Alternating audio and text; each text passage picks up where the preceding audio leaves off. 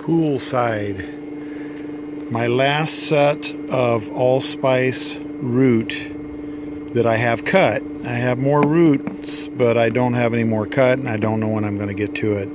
Why is there only seven in this auction? Because this is the last seven. I'm going to show these to you real good all the way around. They're like a six inch by seven eighths blank, maybe closer to an inch, but I will uh, throw a tape measure on them.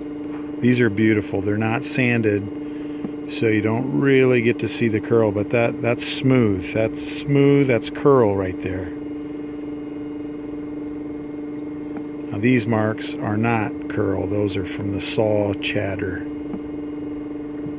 But they are beautiful. This one's got curl in it. You can see that. It looks like it's all the way around. That is curl all the way around. Almost has like a herringbone curl to it. You see that? Uh, that's curl.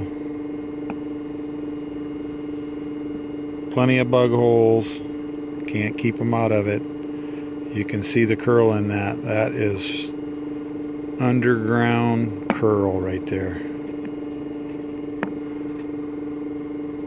That one's got curl in it. Beautiful. Ooh, that's strong curl there. Nice. That one's got beautiful curl in it. I think this is going to be my last auction for the year. It depends on what happens around here. All of our families in the mainland and my wife is working most of those days, so maybe I will throw some on. I don't know. But I hope everybody had a wonderful Christmas and uh, New Year's coming up here. Everybody be safe. Boy, this this is just this wood is amazing. If you know how to work with bug holes, you sure got some beautiful wood here.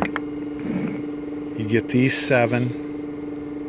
I'll go throw a tape measure on them, but like I say, they're six inches. They're gorgeous. You will not be disappointed.